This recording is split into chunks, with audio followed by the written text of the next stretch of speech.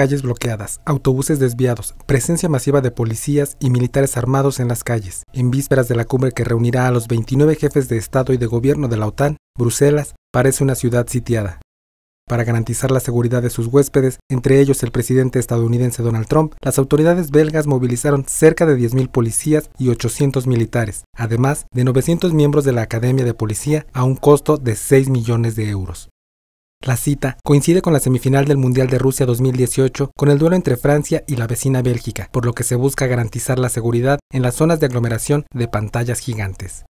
En total, 26 calles en cuatro zonas de la ciudad permanecerán cerradas a la circulación, obligando el desvío de líneas de autobuses y tranvías.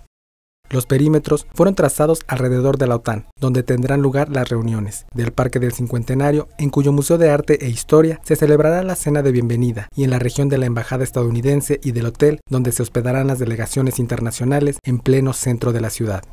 Los perímetros de seguridad han empezado a instalarse este martes y permanecerán hasta el viernes.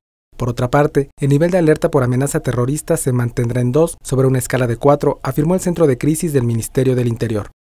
Con información e imágenes de Marcia Bizzotto, corresponsal en Bélgica, Notimex.